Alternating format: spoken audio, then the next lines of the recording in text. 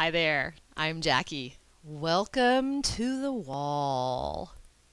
So in this video series, I am going to show you how to use the wall to wake up some of your favorite yoga poses. So go find a wall and then meet me right back here.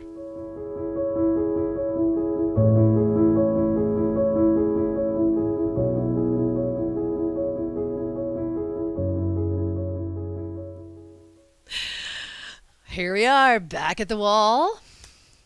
Warrior 3 is what we're going to play with today. And we're going to do this mm, a few different ways. So there are, I would say, two or three different ways to use the wall. One is probably the most obvious way, and that is for me to turn my back to you, take my hands to the wall, okay? So that I don't have to do that, we're going to pretend that my little um,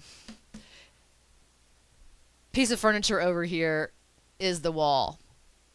And you're going to come to the wall, come forward, bring the hands to the wall. So ideally what you're looking for, and it's awesome if, you know, somehow there's a mirror involved so you can actually see, but um, I'm not sure what the odds are of you having a wall, a mirror, everything all in the same line so that you could actually do that. But just saying. Okay, so you're trying to get as close to an L shape as possible. And then for this, I'm going to start with the right leg moving back. So my left foot grounds down into the floor, low belly in and up. I'm going to push against this wall here. Keep this arm strong as this leg works back. All right.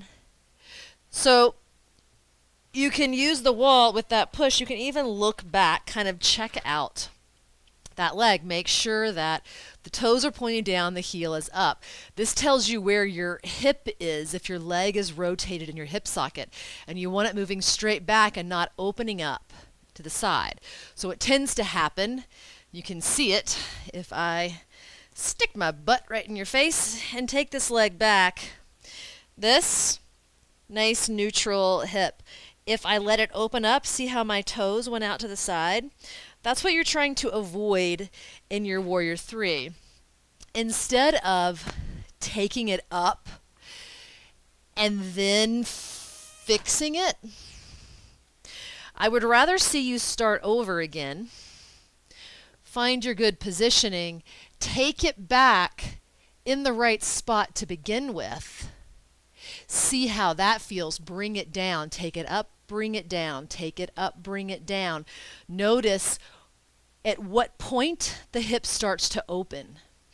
And then when you notice, okay, well, I get to about right here and then it starts to open, then you're going to stay in the range where it doesn't open. And you're going to work there and you're going to get really strong there. And then you're going to let it lift just a little bit higher so that you maintain control. And the whole time, the low belly is pulling in and up. The core is on. Your back muscles are on. That This whole reach forward is strong. All right. Now, we can reverse this and take your foot to the wall. Couple of different ways to do this you can use a chair or blocks to make this a little bit easier. And you'll have to play around with just where to place yourself. So because it's going to be difficult for you to see, once again, I'm going to use my handy dandy dry sink as a wall. Okay, so here, obviously, look, I'm way mm, a little too forward. Take it back. You want to be able to press your foot against the wall and lift. So this will take a little trial and error.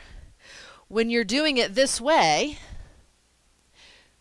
it's very easy to tell if that hip is open and your foot is open. Remember, you want toes pointing straight down, heel pointing straight up.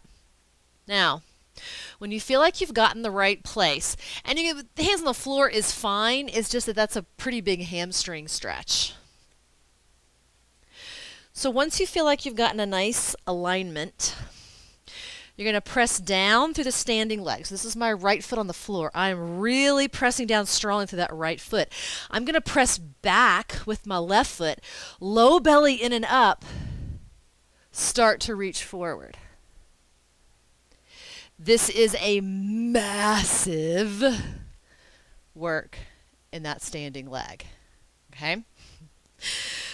I'm going to switch and work it the other way.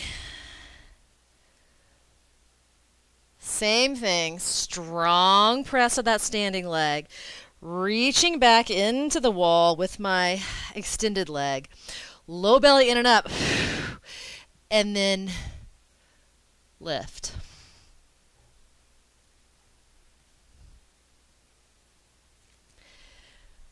Try that one, folks. you can also play around with the wall to your side, little airplane, just to work balance so that you can really watch the back leg to notice how it hinges, to work on that alignment of the square hips and not letting not letting the hips open up to the side, which is what most people do. So, you can use the wall as balance to work that hinge. It's not a bad idea if it's possible to instead of having blocks Maybe you have, you're lucky and you can line up to where there's another wall if you're near a corner when you're doing this one here, if you have a wall to the side that could help you as you're coming up. Okay? Play around, use the wall. I want to know what you think of that one where your foot's against the wall and you're working that standing leg from the floor. All right? Have fun.